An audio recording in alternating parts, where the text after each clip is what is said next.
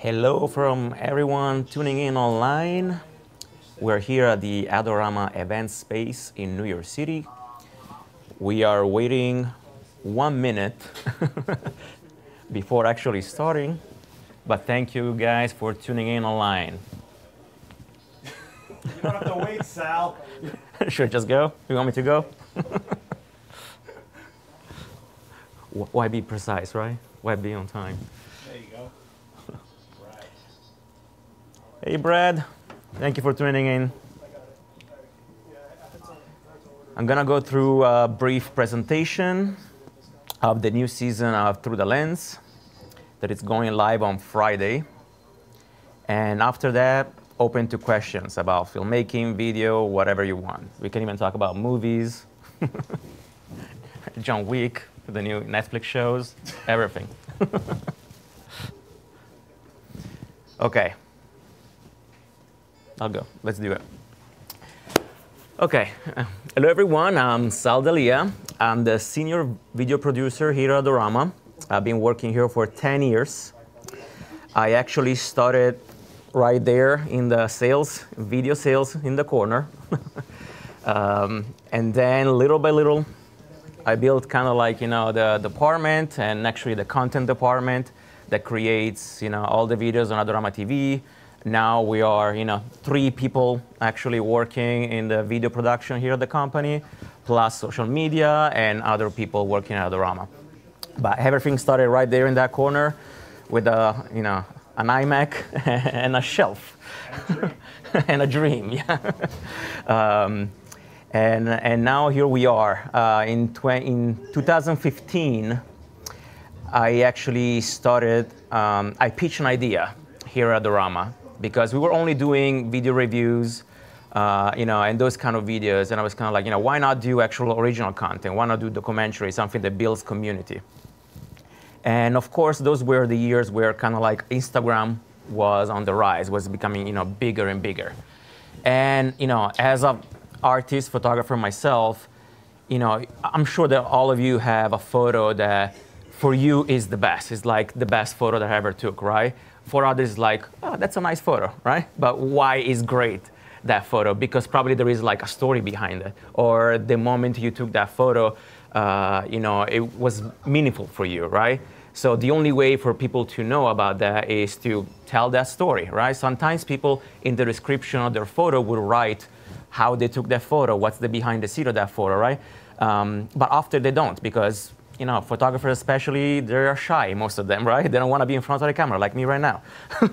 But they have to do it right? It's, it's actually useful to tell your story and to let people in even more into your creative process and all that stuff. So that's when i had the idea you know as a filmmaker why don't i do and you know i work for adorama as a camera store why don't I actually tell the stories of the people behind Instagram's account, right? So uh, everybody, you know, followed this person that has one million follower, but we don't know much about them. You know, at that time there was no stories, so there was no way for like you know the photographers to kind of like you know tell their own stories uh, besides the photos.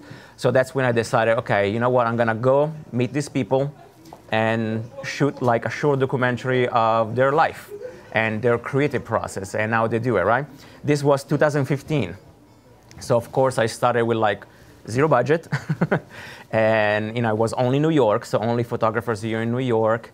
And, and that was a hit. It went incredibly well. The community responded very well. People wanted more. People wanted to see, you know, to know more about stories, and especially not just New York. They wanted to know stories about people everywhere in the country and why not the rest of the world, right? And that's, you know, 2015, season one, New York. 2016, season two, the US. And I started traveling around. I went to Hong Kong, Japan, Cuba, uh, Europe. So, you know, that this series gave me the opportunity to meet some of the best photographers, you know, online in the world, uh, travel, uh, grow our community here at Adorama. And, and now we are here today, you know, in our event space with a nice big channel with a lot of great content, a lot of great, you know, contributors working for Adorama. So that's, you know, it's an important piece, not just for Beam, but I guess also for like, you know, the content team here at Adorama and, and YouTube. And Friday is season eight. So you, uh, Through the Lens took kind of like a break because of the pandemic. Uh, so the last season was actually right before the pandemic. So it took kind of like a break for a while. I, I didn't even know if I you know, wanted to kind of like keep going in a way. Um, but during the pandemic, especially with the rise of kind of like you know the Web three, NFTs and AI, 3D arts, like all that, I felt kind of like the need of like you know, telling more stories of you know artists and creative people.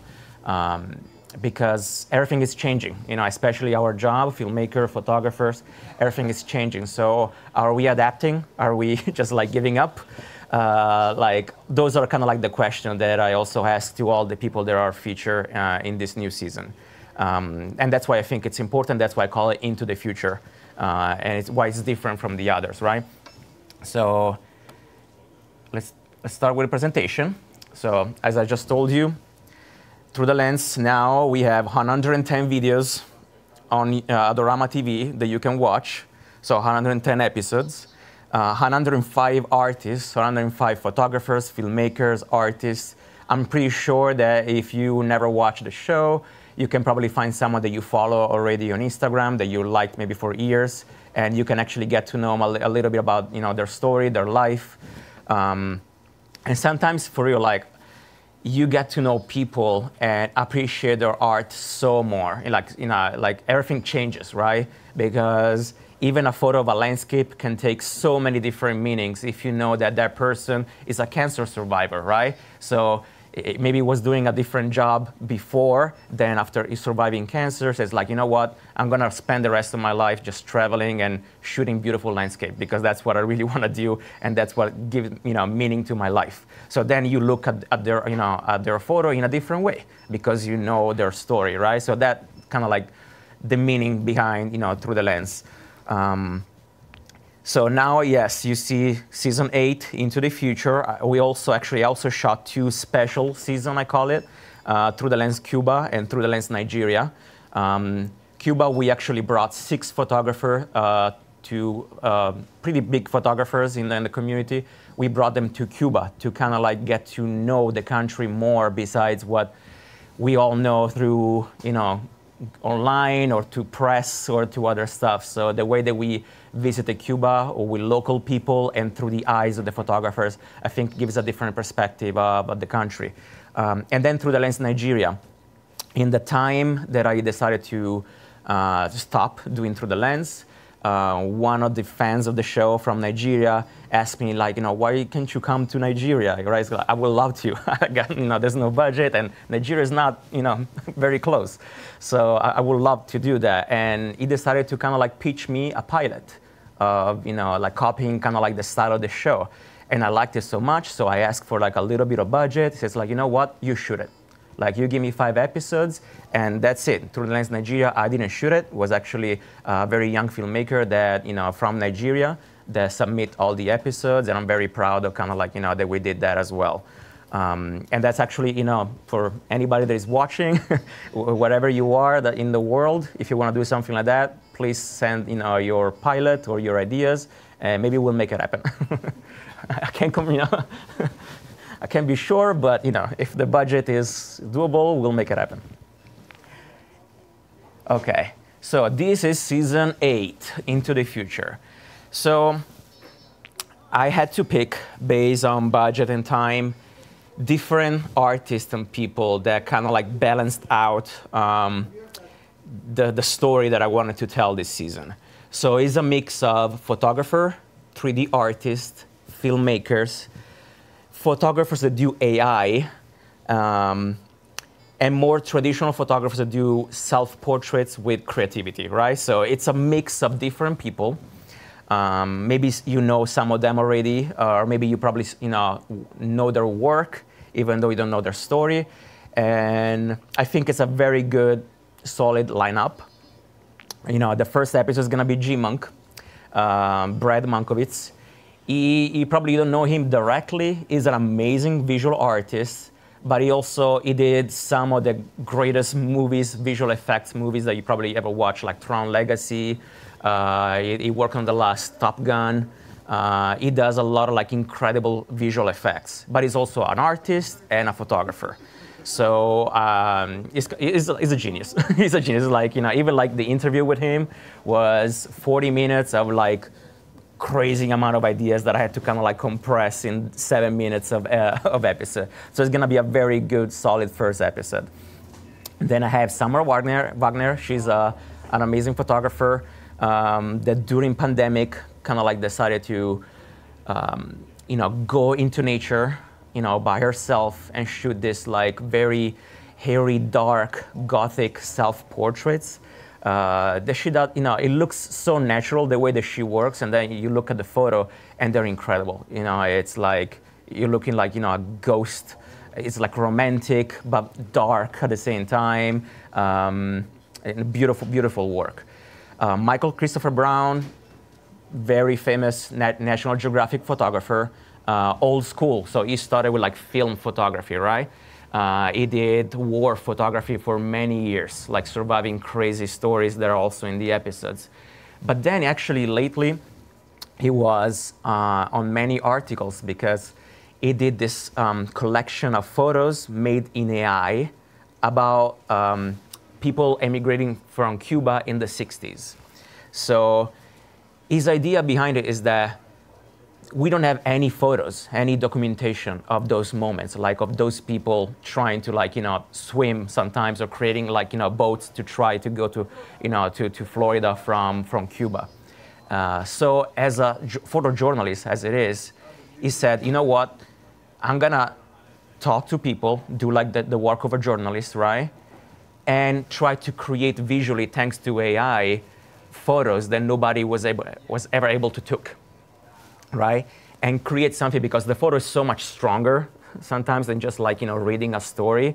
Uh, and that's what kind of like the, the job of photojournalist is, right? Like to just put in your face something that that's, you know, that's history, right? That's what's happening right now. So I did that thing with this, you know, the, the stories of these people from Cuba.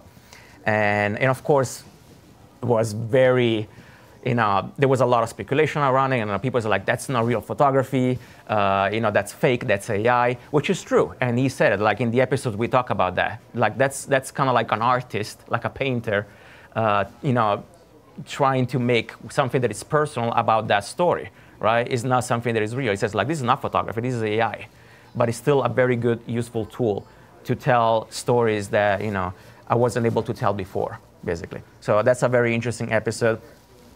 Gilmar, um, Nikon ambassador, her self-portraits are very, you know, fantasy, uh, colorful, and I really love. She has a great personal story, uh, which I'm not gonna, you know, give you any.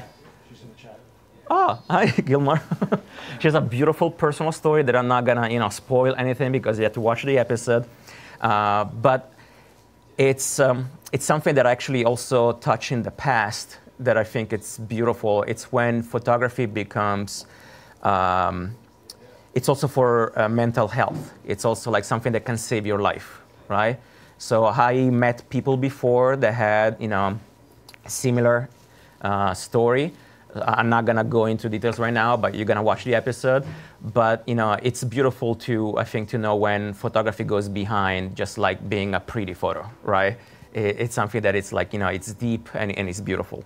Um, uh, Euphoria, uh, Canadian um, 3D artist, uh, amazing 3D artist. He did a lot of stuff with like famous DJ and music. Um, but I really love his work, not just for the colors and the 3D art, but also because he used like motion capture. So in the episode, you will see him actually putting like the suit and then kind of like you know moving the the uh, his 3D object to do actually animation, like actually animates his his 3D characters, which is I think it's very fun to to learn, and it's gonna be, in my opinion, the future for many, like you know, for both video and photography. It's gonna change a lot of things in visual arts. Uh, last one, uh, Nikola Kristic is a very famous uh, filmmaker, videographer uh, even though he's very young, he actually has an account on Instagram called Filmmakers that has like millions of followers. Uh, probably a bunch of you follow that, that account. He's very famous. Um, and he shoots beautiful video. Uh, and fun fact about this episode, I couldn't go to Italy, where he's based, to shoot this episode. So I had uh, a mentee of mine, a young filmmaker that studied here at NYU, also Italian, to go to Italy and shoot for me. And he called me a couple of days ago telling me that he won an Oscar. He won an Oscar for his short documentary with NYU. So like literally like it, it, that episode is shot by Oscar award winner. True story. okay. Um, before moving on in how I actually made the series, how I organize it, how the whole creative you know, process work, I want to show you the trailer of this season. So you kind of like get a little bit of idea of the content that is in this season. Here we go.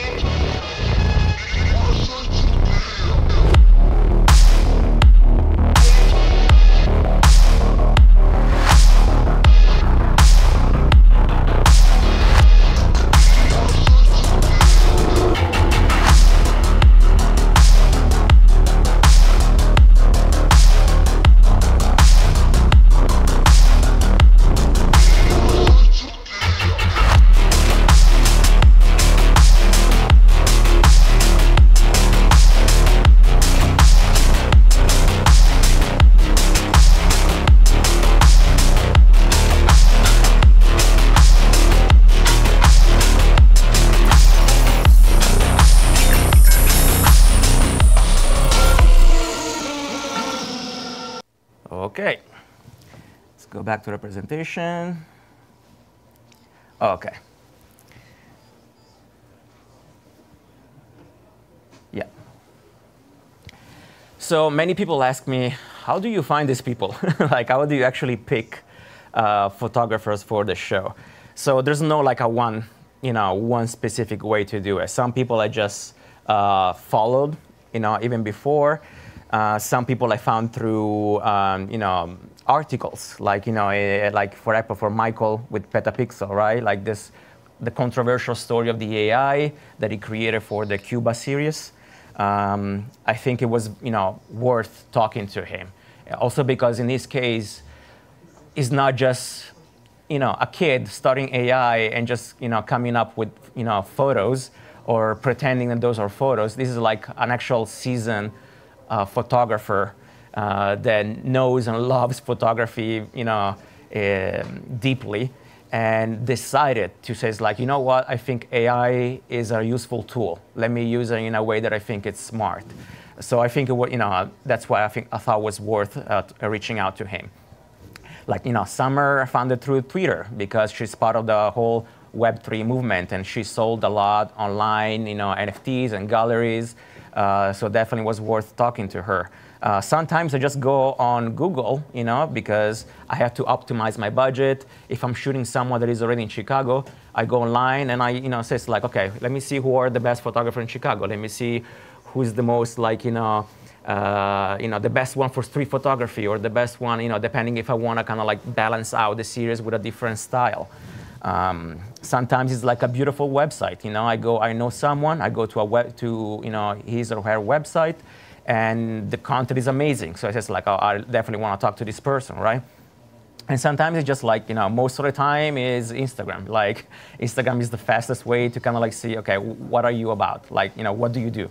Uh, how good you are, you know, and that kind of stuff. Uh, of course, at the beginning, now it's season eight. At the beginning, season one, season two was also about like you know likes and followers, you know, because we wanted to kind of like get people. Why do these people are liked so much? Like you know, uh, now the I think algorithm and everything changed. I go towards more like okay, this worth is like this work is worth telling the story, right? So that's why you know.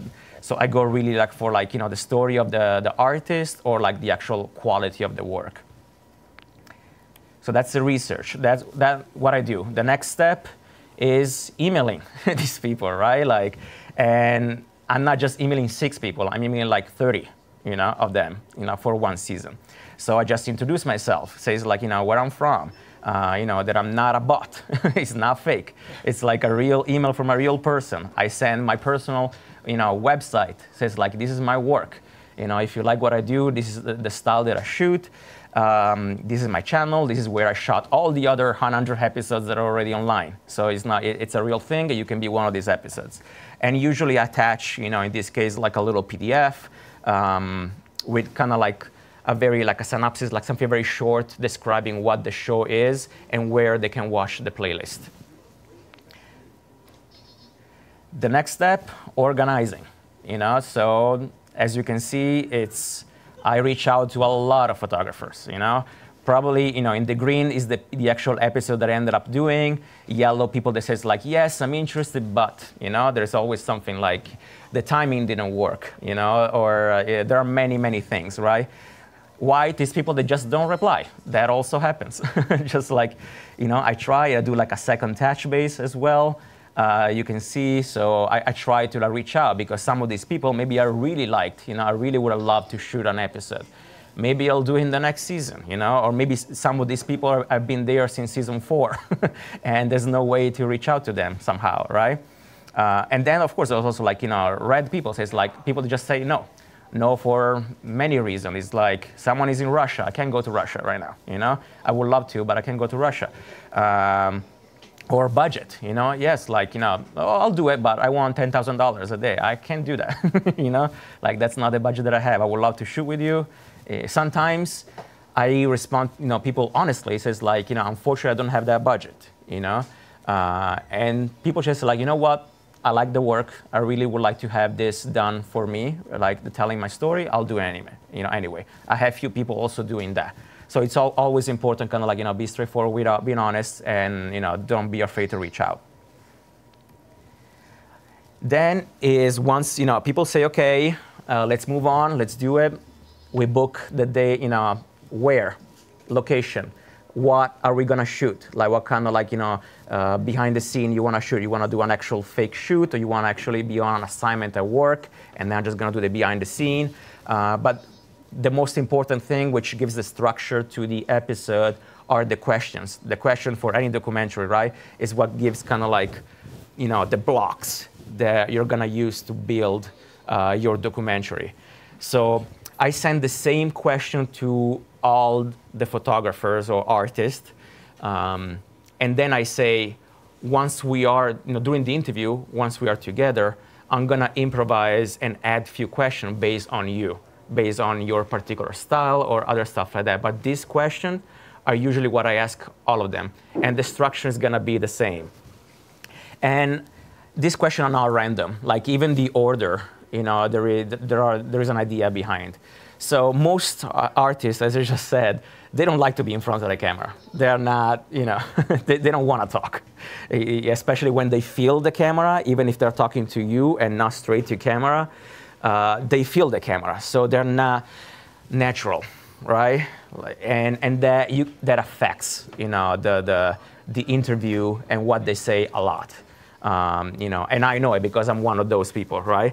So the way that I do uh, this kind of work is I always try to organize the shoot after we do a breakfast, a lunch, or a dinner, something, right? So we actually get to know each other. You know, so I, you know, it says like, okay, I'm gonna buy you lunch, I'm gonna buy you breakfast. Let's chat, you know, and we chat about anything. Could be sports, could be, doesn't matter. Uh, the thing is that we chat, so we create a rapport, a relationship, and after that, once we actually sit down with the interview, there is already a little, you know, warmth. It's kind of like, okay, we talked about it, you know, and this is not live, right? So we can stop, cut, and redo something. So it's not, it's not an issue. And the way that I start in the question, you can see, is like introduce yourself. Where are you from? Tell me about like you know uh, your city, where you were born, that kind of stuff. Because those are like the relaxing question because if you ask me where I'm from, that's easy. Even if I have a camera I don't like being in front of the camera, I'm gonna start talking about like you know my family and you know my you know that I'm Italian, I'm Sicilian, and I can you know I can talk about Sicily for like the next two hours, no problem, right? So people are you know more comfortable talking about that kind of things. And then after that, I go into the next step, which is talk about your art, like your creative process. You know, something that also we all love to talk about in general, right? So it's not a problem. You know, it, it, doesn't feel like an interview because if you talk about yourself and what you actually love, which is your, you know, your art, then everything, you know, it's a lot easier. So it's like I'm getting deeper, basically, deeper into them, who is in front of me. After that, it's time to geek out. Let's talk about the gear. Like, what do you use? So at that point, I think whoever is on the other side is warm enough to say, "It's like, yes, let's geek out. Let's talk about, like, you know, my camera and my lenses. That's not a problem. You know, we can do at that point. After that, since you're like, you know, they're hot and steaming, they says like, oh, this interview is doing pretty, you know, is doing pretty good. I, I thought it was going to be a lot harder, right? Then that's when I go deeper. So then we talk about like, you know, AI. We talk about, you know, people that, you know, everybody now is a photographer, right? Because everybody has a phone, so everybody is a photographer. So what do you think about that? So people can also start getting a little bit more confrontational and say things that are just you know it's their opinion you know which is always hard like if you start this as give me your opinion about you know this thing it's to be hard for them to like you know uh, cold start you know so that's why i want them to be warm it's just like okay at that point we already have you know we're deep into the conversation let's talk about something like this okay gear so here are two photos of uh, an article that we did for 42 West, our Adorama blog, in 2016 for season two. And next is a photo that I posted a few months ago um, into, in a, a few months ago for a job that I did also for Adorama, but that's basically kind of like the same backpack that I use for Through the Lens. You can see that many things are very similar actually. So the way that I work, it's all run and gun, one man crew, backpack, right? I don't go around with trolley bag. I don't, you know, I don't even check in. Like I actually want to bring everything with me on the plane wherever I go. So for me, always like lightweight, the highest quality that I can get, but that it's lightweight, it can fit in the backpack. That's what I want to do. And that's why even though I have the access to ARRI, Red, and all like you know the high-end cinema camera, I always actually went for like something that is smaller, so mirrorless in this case. You know, I'm a Sony user, so I go for like you know Sony camera.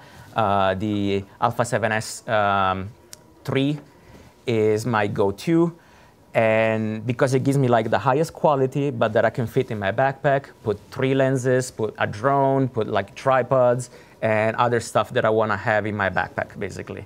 And and you know that was 2016 I'm still, you know, today is still the way to go for me, right? I just upgraded, you know, from the first S, and now it's the S3, but it's the same kind of like setup, you know. Some things, of course, you know, uh, improved, like the audio used to be, you know, the big, you know, transmitter receiver. Now is this little thing right here, right, for audio. Uh, hard drives are smaller. uh, I don't need external recorder anymore because recording in camera, it's already like, you know, high enough. Um, so that's, I think, it's an important, you know, factor of my work. You know, often when I show up on set, people looked at all the episodes as like, oh, I thought it was going to be like a crew, you know, with lights and boom and you know and stuff like that. It's kind of like, uh, no, it's always been just me with a backpack. That's what I do. Most of the time is natural light. Actually, I don't, you know, I bring with me nanolights, like small uh, light tubes, uh, but those are usually emergency lights. It's kind of like, okay, like this is like pitch dark. There's nothing I can do. I need a light, right? Like I would use an iPhone, honestly, if I had to. Uh, you know, but of course, I try to get the best quality possible in the environment that I, that I am. But at the same time, and that's actually the next yeah, slide, is adapting for me. You know, with through the lens, most of the time, I don't know what weather I'm gonna get. I don't know uh, the location often because you know, people you know, change their mind, which they can. It's their episode, so they can change their mind the last second. It says like, you know what? I don't like that place anymore. Let's go over there. I say, okay. I don't even think about it. It's kind of like, tell me, you know, bring me where you want your episode to be, and I'll, I'll do the best, you know, that I can in that in that position, that location. Um, so you can see like these are some of the interviews that I've done in, in through the lens. There's everything from like you know Banff National Park, uh, you know sub-zero temperature, to like you know the beautiful north of Italy with the Alps, uh, you know. And every time I don't know what I'm gonna get, so I need to have gear that can kind of like that is flexible enough for me to say like no problem, I'll make it happen. In the, the, I don't have lights or it's super noisy because we are in the streets. We'll make it happen. You know, like some of the, the you know uh, stories from this is um, the black and white on the top. For example, like this one right here. This was in Japan and was uh, Mr. 007 on Instagram. He actually told me that did not want to show his face. and I was kind of like, okay, so you want to do an interview, but you don't want to show your face. It's kind of like, no, I'm sorry, I work for the government, I don't want to show my face, but at the same time, I want to do the episode. It's kind of like, hmm, okay, I'm going to do this. So creativity is kind of, you know what? I'm going to shoot you the whole episode from behind, kind of like, you know, Black Swan, uh, like behind his head, right? So him walking around Tokyo, uh, only from the back. And then I'm going to shoot you just like behind your camera, which honestly, you're a photographer. That's what you do. Like, you know, you don't, you never show your face, not even on Instagram. It's all black and white, beautiful black and white photos. I'm gonna do the episode in black and white, and it's gonna be mysterious like your feed, basically, right? So that's always kind of like always, always try to also mimic kind of like the vibe of the photographer, right? So it's not about me, filmmaker. It's about you, uh, you know, photographer, artist. The episode is about you. Um, and there are many episodes where I had to adapt, you know, like uh, Lia Lane here on the right is in Hong Kong, is the famous market uh, in the background.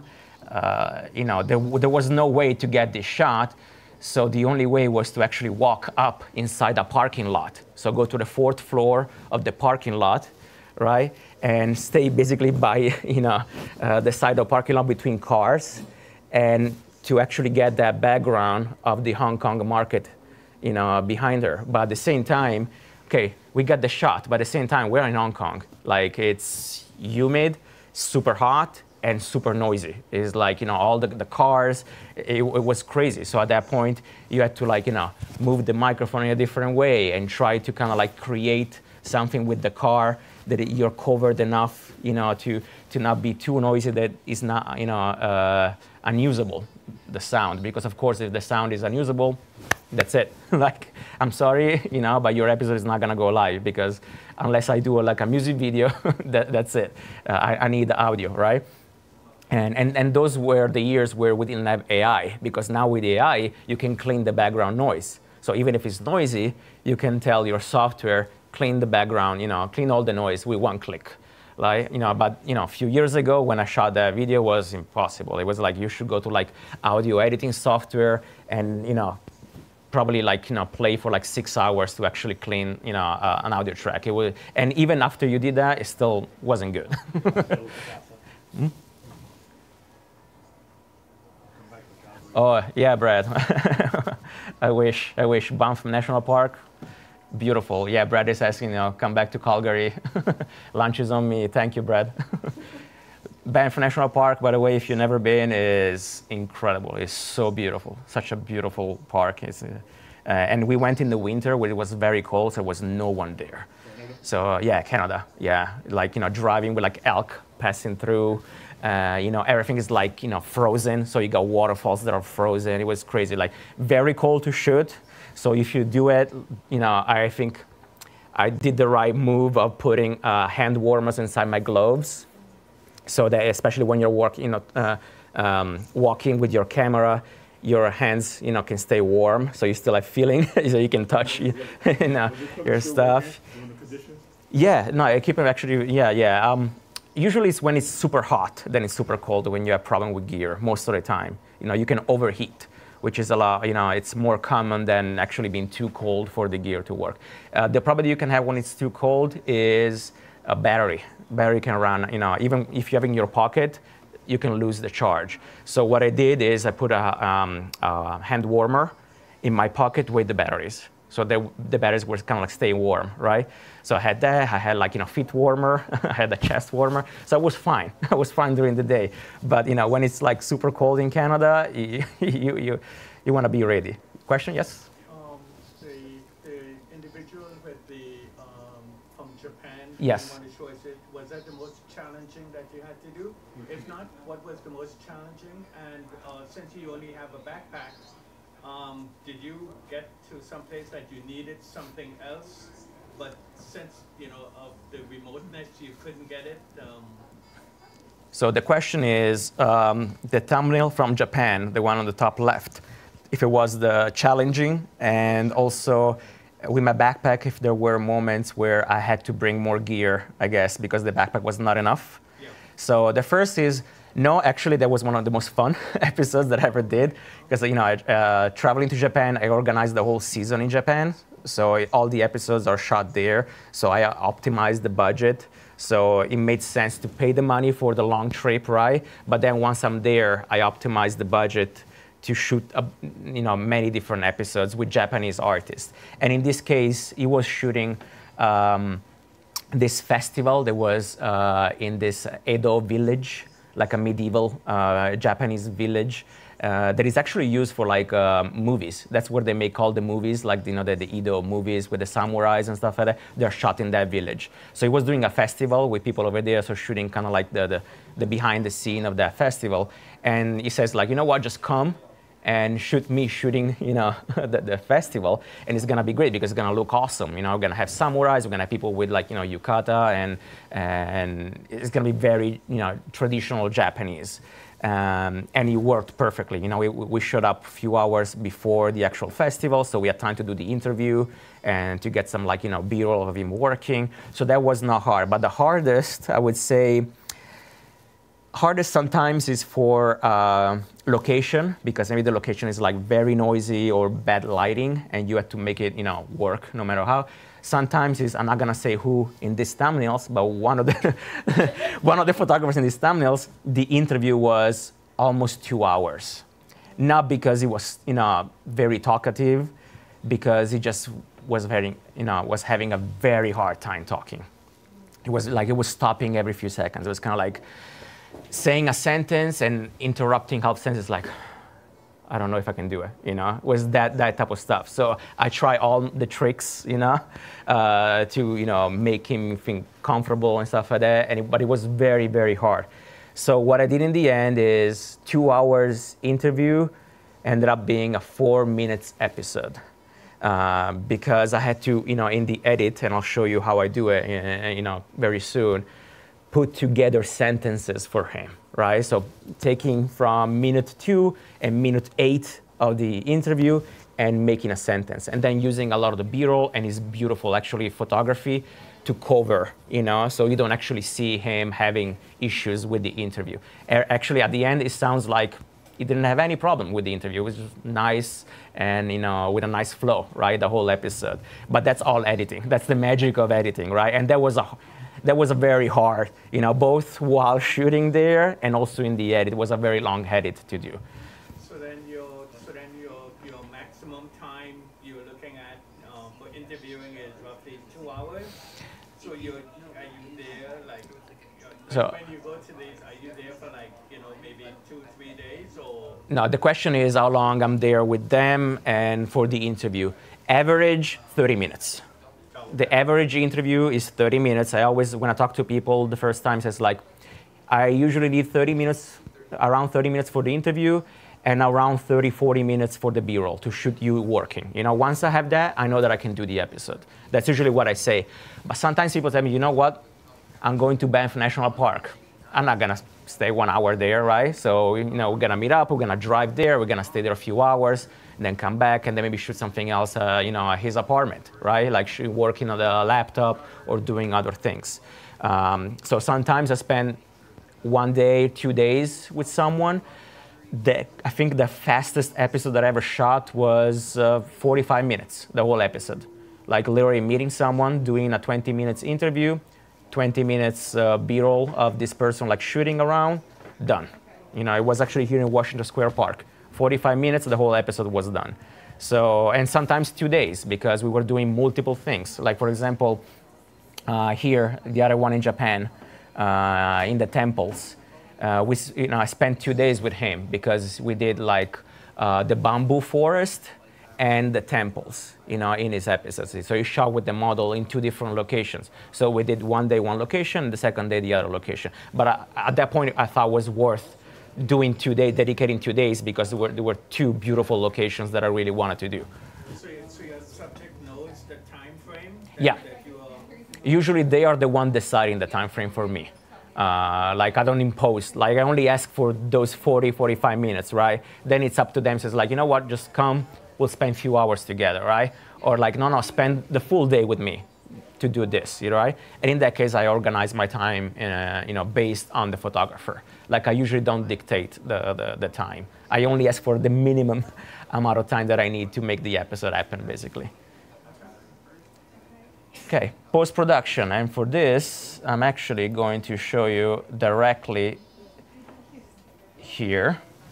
So, for a decade, I was uh, Adobe Premiere editor, uh, and a few months ago, I decided to switch to DaVinci, and so far, I'm very happy about the decision. Uh, for many reasons, if you want, I'll tell you. But uh, for now, let's say like DaVinci is working very well for me. Uh, I was using DaVinci for color correction uh, before that because DaVinci was born as a color correction software, very powerful uh, color correction software. And then they started implementing all the other features, including editing. Uh, and now it's a very powerful tool. Um, also, you know, for many people, it's free to use. There is a free version that you can use.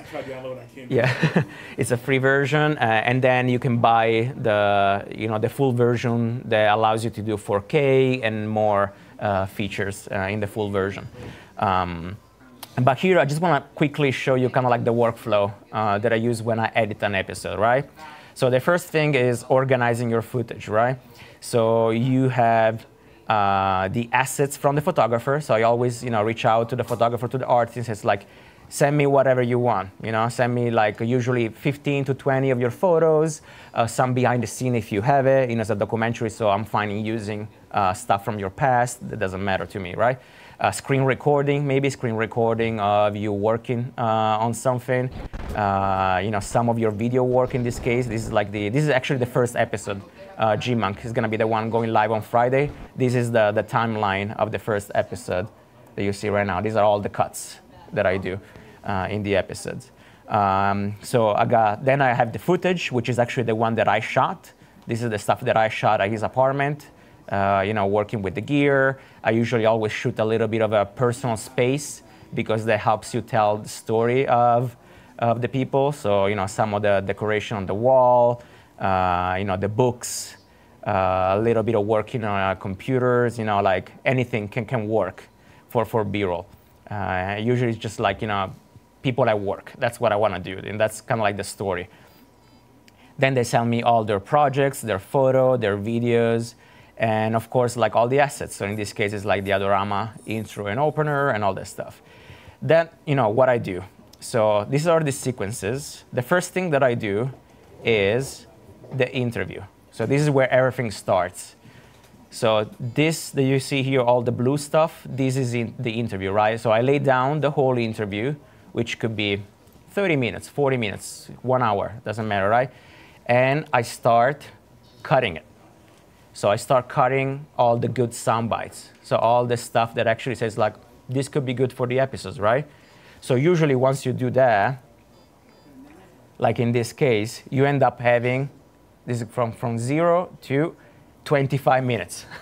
so he probably talked for around like 50 minutes, I would say, and I cut down 25 good minutes. So he's a very good speaker, right? Because having 25 minutes of good content, that's a good speaker. That's someone that you know knows, you know, uh, has a lot of good things to talk about, right?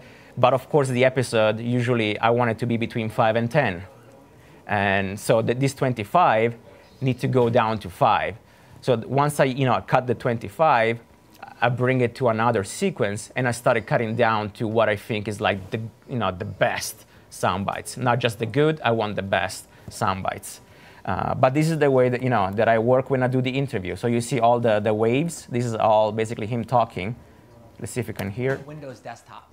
The Windows 10 desktop is like, you know, that, that, that image is one of the most recognized images. You can see the the holes is when, is when he takes breaks. Is, is when he's talking breaks, right? So often when I have so much to go through, I use the breaks and I know that that's where the cut is. And the cut will come out clean just because I'm using all the breaks between the sound waves, right? So instead of like just listening and stopping the bar at the right time, I just go and, and, and cut you know, in, the, in the actual hole in the sound wave. That's a way to kind of like go quicker when you're doing you know, video editing right there, right? And we thought it was just going to be a wallpaper shipping with Windows 10. Sometimes also this is useful also for the, um, mm, mm, you know, uh, you know, everybody does that, right? Like some people more than others, of course, but you don't want that to be in the episode, right? You know, one people to like, um, mm, like you know, I'm not, I'm not sure about this, right? So a lot of the work is just cleaning up, cleaning up the all the um, the um, the uh, you know the the pauses. So when you watch the episode, it sounds like a nice, cohesive, you know, you know, fluid, you know, uh, conversation, like a, you know, someone doing a, a keynote event type of thing. So that's what I want. So once I have this, I bring everything into my edit one. So my first version of the edit. So in this case, you see all the, the, the turquoise or light blue uh, is the interview underneath. And I cut it down to eight minutes.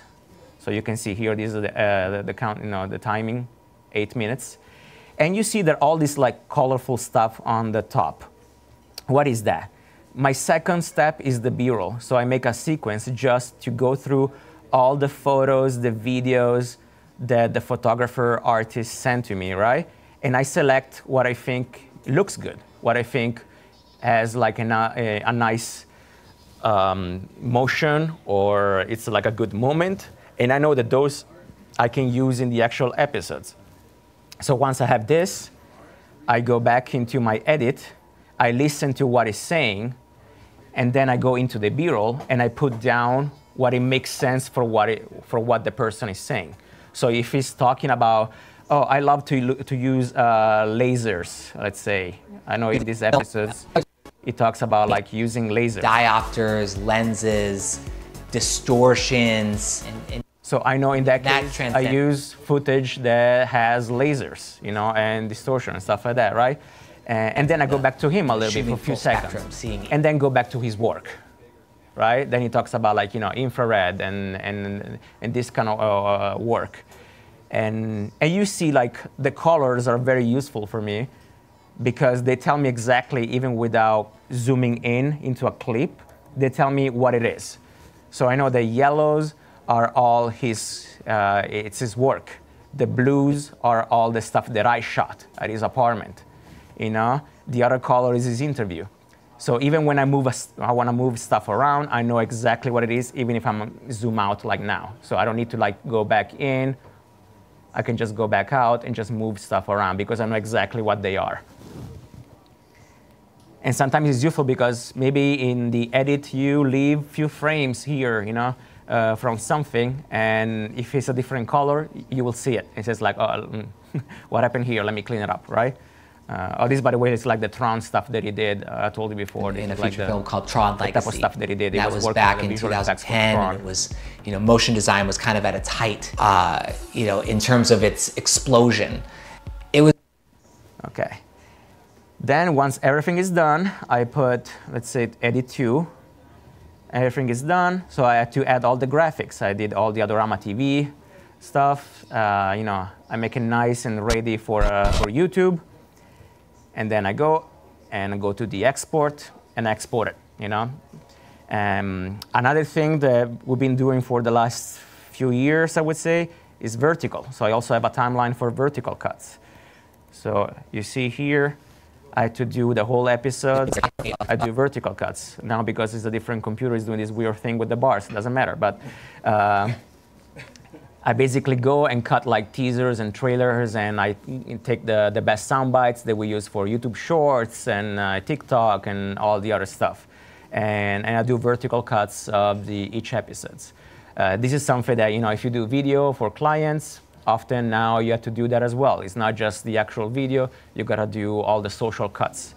And this is something that uh, I do here as well. Okay, and with that said, we are at the end of the presentation.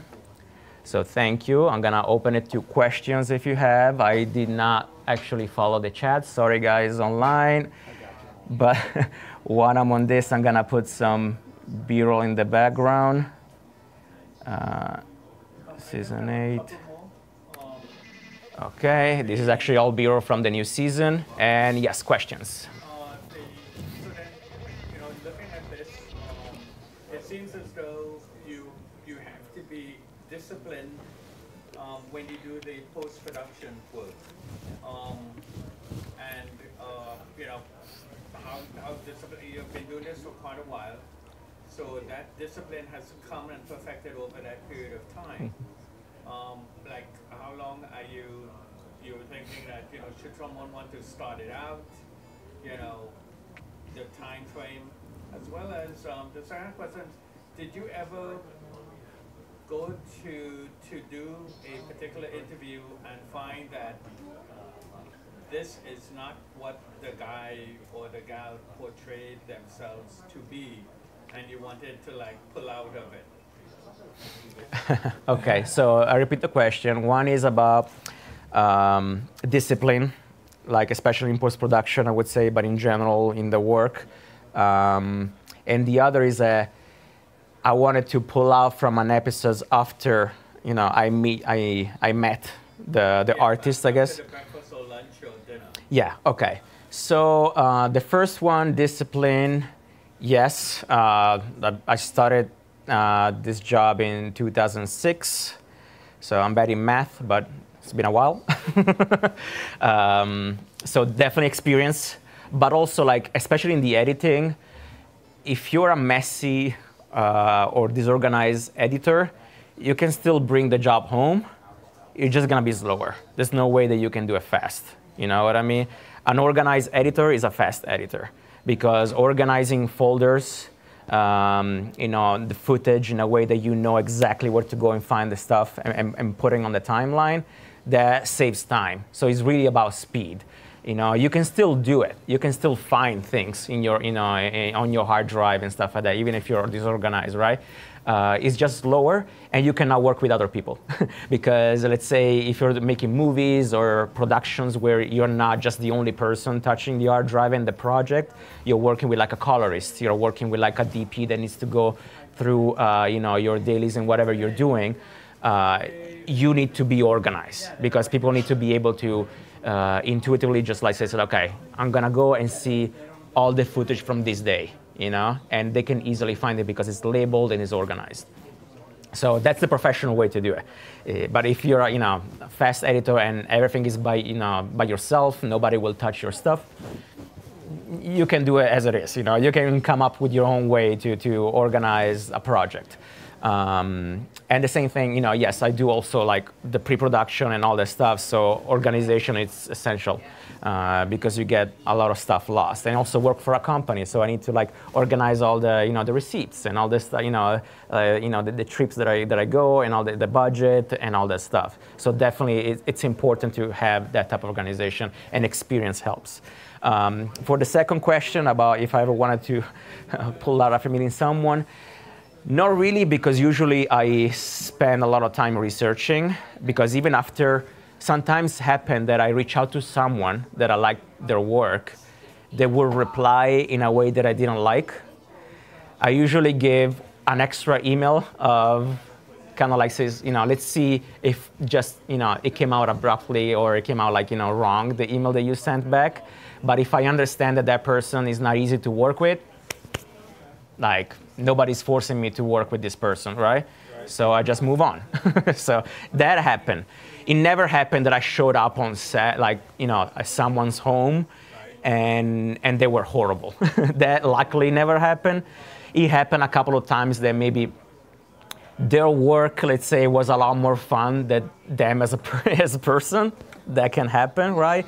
But usually in my mind, while I'm doing the interview, even if the interview is boring, in my mind is like I'll make it work. Like I'll tweak the edit in a way that is gonna be fun. I'm not gonna, you know, portray this person as boring and talking slowly and not having interesting thing to say, right? So it's just like, you know what, your work speaks for you, is beautiful. I'm gonna make it all about your work and less about like the stuff that you say, right? So I'm gonna maybe use more music with the, you know, with beautiful images from your work and less you talking, maybe, you know? Uh, that's another option. So, you know, of course, I always want people to look best in my episodes. I don't want anybody to, you know, to look bad. So, um, and, and luckily nobody was like horrible enough to say, it's like, you know what? I'll go away. I spent the money to come here, but you're not worth it. No, luckily never happened that. Uh, I usually try to cut that in the email process, like in the back and forth emails. Okay. Uh, sorry, guys at home. A few questions from home. Oh, Brad, you're like hot streak from. it's like a deep chat. Yes, here. Yeah, um, not to ask this great question because I'm gonna ask seven too. Um, how to put myself out there more as a filmmaker Mm-hmm. and photographer? Because um, I have I did short films on YouTube Mm-hmm. and um, just try to put up. It's funny because um, I tried to venture, I downloaded, I was the free, but so my Microsoft is weird. It's like they they're very biased. If it's not Photoshop or Adobe, they they won't they won't accept the program. Um, I did Movavi.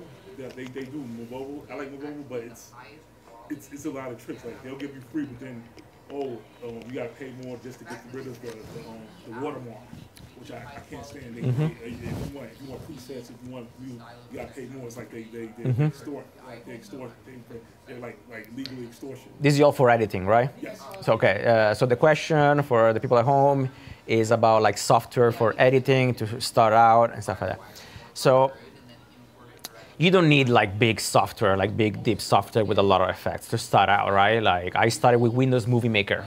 so it's like you know the basic uh, editing software on the Windows 95, I think it was, or something like that.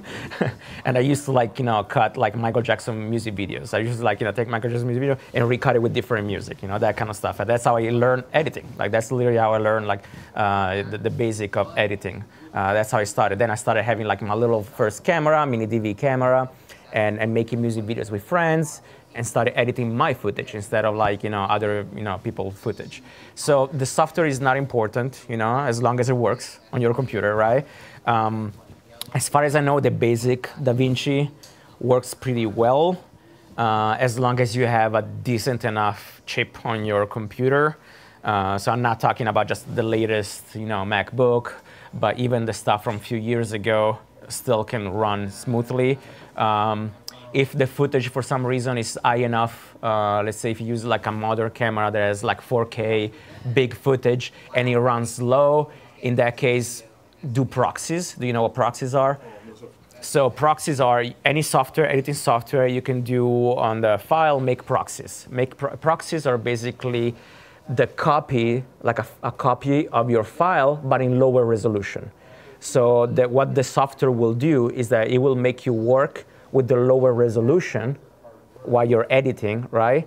Because it's gonna be faster because it's just less, you know, you know, file less sides to work with for the for the pro, uh, for your chip. And then once you're done and you wanna export, automatically it will use the original footage, so the high quality. So that's a way to make the whole process a lot faster, right? So especially with big 4K files and stuff like that, if you do proxies, uh, it's gonna go super fast. It doesn't matter, even from laptops from 10 years ago, you can you can you can work. I told Brett and um, Mateo I shoot with a um, this uh, quote unquote consumer camera um, this the Canon um Vixia Vixia um G2. Yeah, yeah. And it, it gives you that. fine. It's like it shoots that whole like like yeah home camera footage. I mean even with the mobile edit, it looks decent for YouTube, but I want that cinematic look I was mentioning. Cinematic look is not just the sensor, the camera, much it is. Often is the lenses. So often I say, you know, people says like, you know, gear about gear, the camera, oh, but you're using, you know, the red that is twenty-five thousand dollars or that kind of stuff like that. It's yes, like the camera will definitely give you a different flavor, a different like you know quality in your image.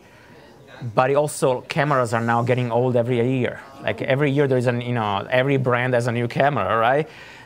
Something that is not getting old are lenses. Like for example, my favorite lens is not here, but my favorite lens is a uh, it's a Leica. It's a, it's an old manual Leica lens that is like this. You know, it's a Summilux. It's a lens from the 40s, 30s. I don't know, what 50s, 60s. Okay, it's a very old lens, um, you know, fully manual, so nothing automatic in it, right? But it looks beautiful, right? Because it was done the right way.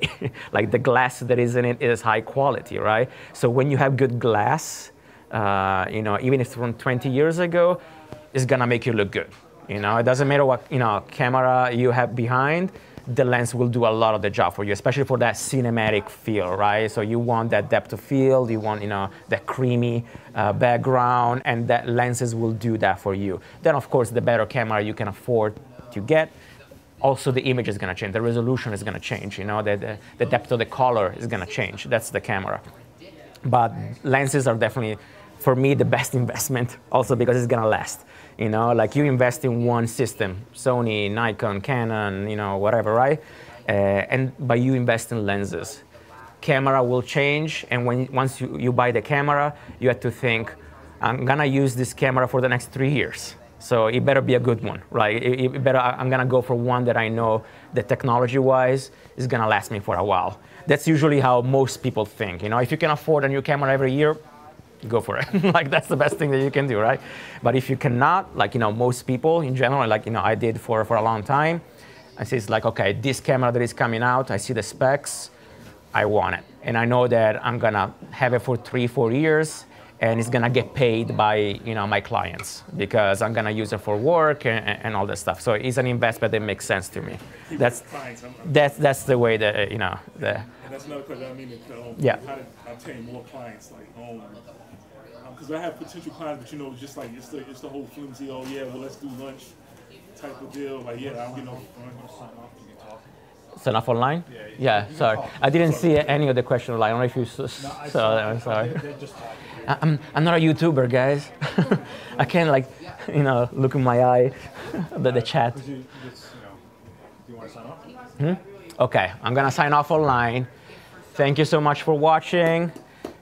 If you wanna, if you if you want more of this, reach out on my social media. Don't ask Adorama for more of these workshops because I don't like to do this. He's gonna It's do more, okay. don't worry. But you know, thank you so much. Uh, you know, have a good night for East Coast and everybody else. I don't know. Okay. Good night and good luck.